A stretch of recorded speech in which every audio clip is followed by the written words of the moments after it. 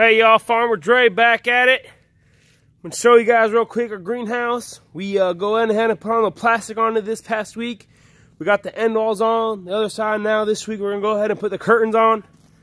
Get everything working on. Get our wood stove in.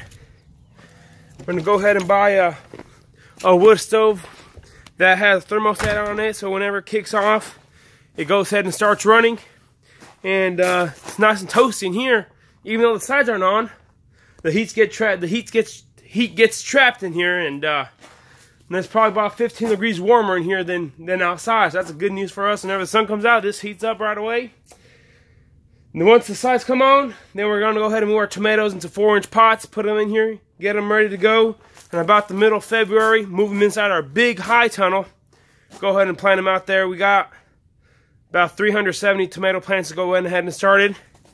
And uh, go ahead and do that we'll get the job done. So these are the first tomato plants here on the farm. We have uh, 348 tomato plants. There's a three uh, 128 cell trays.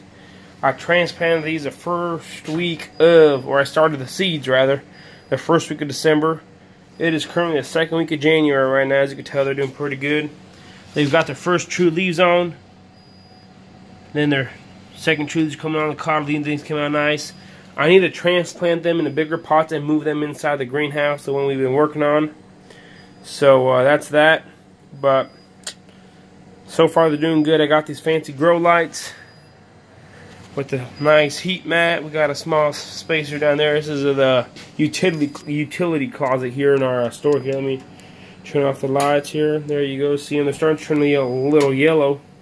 They've been a little root bound, so that's why I need to move them out into bigger pots. We're going to move them to 4 inch pots. So I should probably fertilize these with some nitrogen or some triple 13.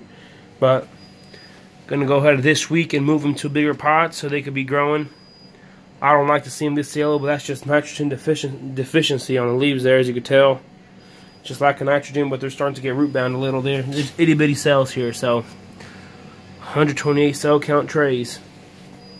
Well, that's that. So hopefully, about the first tomato, we'll be picking our first tomato crop off these, the first crop that comes off them. So, so we're hoping everything works out great, that we get the heater in the greenhouse up and going.